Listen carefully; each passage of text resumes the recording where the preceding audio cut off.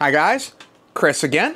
On this video, what we're looking at is how to tell the difference between older AMD processors and newer Ryzen. So what I'm holding in my hand is an AMD, I believe it said this one was an FX 6300.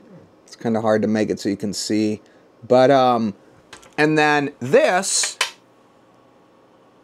is a Ryzen 5 1600. Now, the thing with these is that if you're actually holding both of them, um, the Ryzen chip clearly says Ryzen on it. But if if you're not actually, if you can't actually see the labeling on it. Now, I have actually seen, I believe, some people on YouTube where they've done videos where people have even like reprinted them or something, or they've pulled the thing off and put it back on. In that case, the only way to tell would be to actually either, well, if you tried to plug this in, so with the Ryzen chips, there's a different pin pattern on them, so you can see those, those.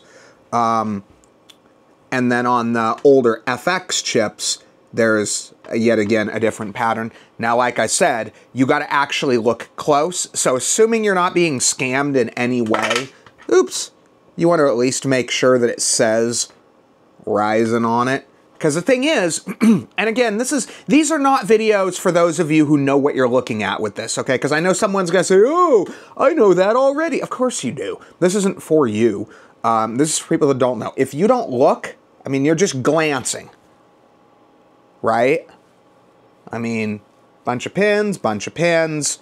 They're the exact same size. They've even both got the little triangle in the corner to point where the, the, the direction of the pins. So just be aware that they are almost identical.